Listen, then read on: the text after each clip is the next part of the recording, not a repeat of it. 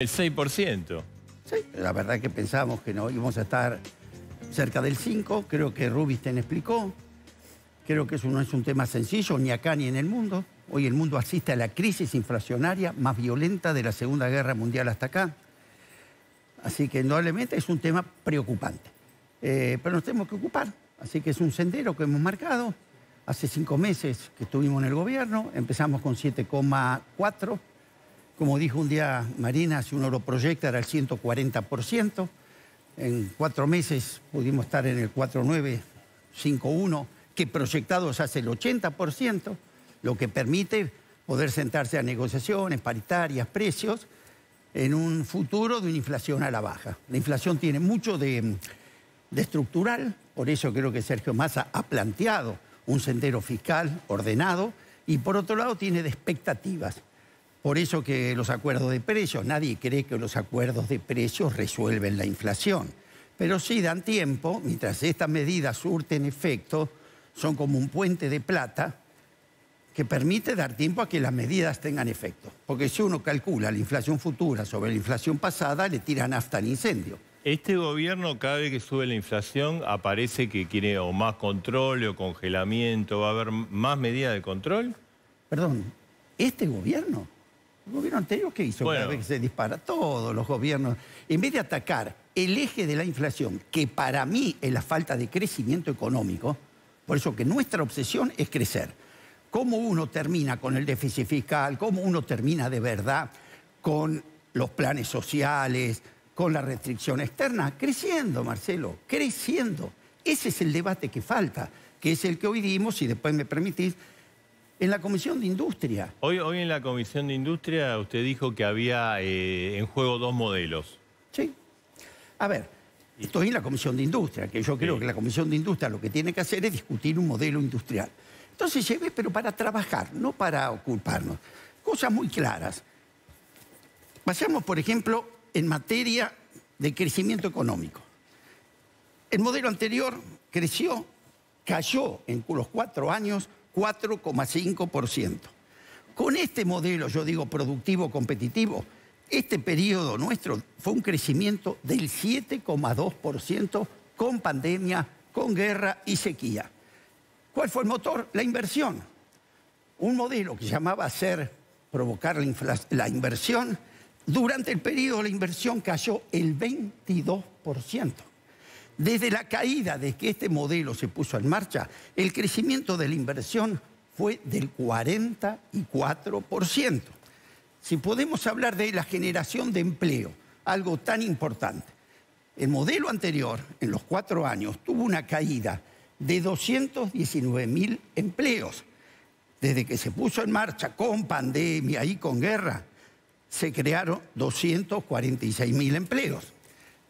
Hoy llevamos 23 meses consecutivos de creación de empleo. Esta fue la caída del empleo. Miren, vamos a correr el vaso durante todo este periodo. Y este periodo del nuevo modelo, todo esto de creación de empleo. Llegamos con el empleo. ¿Es la Argentina hoy una economía cerrada? Este año vamos a tener en 2000 récord de importaciones. 81.100 dólares de importaciones. Aquellos que dicen que no podemos tener importaciones, los números no lo demuestran. Pero que tuvimos también récord de exportaciones. 88 mil millones en bienes y servicios. Y bienes. Si ponemos los servicios, podemos estar en 100 mil. Y termino, Marcelo. Sí. Y termino. Hoy un modelo miremos el déficit o el superávit comercial. En los cuatro años de gobierno anterior, el superávit comercial fue 5 mil millones. Nosotros, 34 mil millones. Miremos, ya termino, dos modelos y los resultados. La industria, que es en la Comisión de Industria donde yo estaba hablando. El modelo anterior, punta a punta, la industria que yo cayó el 13%. Nosotros subimos con guerra crecimos el 13%. Quiere decir, quiere decir que vamos a discutir, más allá de la coyuntura, cuál es el camino, un camino de la inversión que pone el eje en la producción o el empleo, o un eje en la especulación financiera, con la bicicleta financiera, Este es Eh, el debate libre- que la industria Dos tenemos que preguntas. tener. Si el saldo comercial fue tan importante, ¿por qué faltan dólares? Muy bien. Faltan dólares por lo siguiente. Primero, porque también tengamos este superávit comercial que llevamos en años, durante el gobierno anterior, fue saldo negativo. ¿Qué pasó? Lo reemplazaron con endeudamiento. Nosotros qué hicimos, tuvimos un buen saldo favorable, reconozcamos, lo gastamos mal. Yo creo que permitimos importaciones que la Argentina no se podía dar ese lujo, yates, producto de, como dice, del polleto, de una brecha cambiaria que tenemos que resolver. Eso está muy claro. ¿Qué nos pasó? Primero la guerra.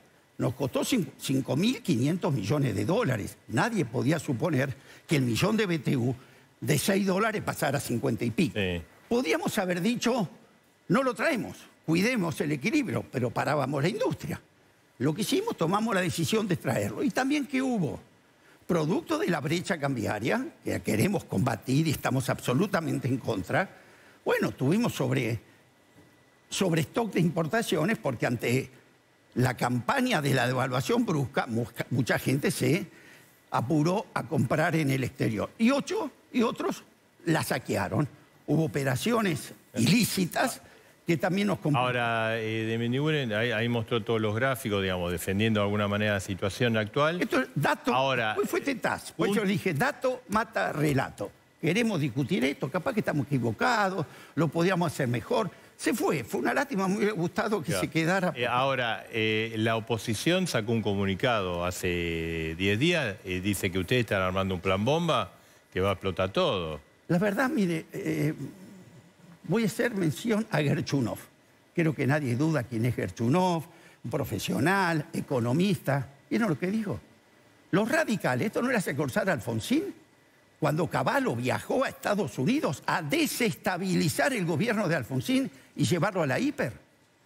Porque la verdad que en un momento donde se está trabajando, hay un sendero para equilibrar la economía, Sí. se está tratando de bajar el riesgo país. Aparte, Marcelo, me indigné. ¿Quién es especialista en bombas en la Argentina? Precisamente la oposición. Ah, la misma, no, perdón, ahora, la misma persona dejaron en el 2001 la peor bomba de la historia. Y eran la misma persona. En el 2019, ¿qué dejaron?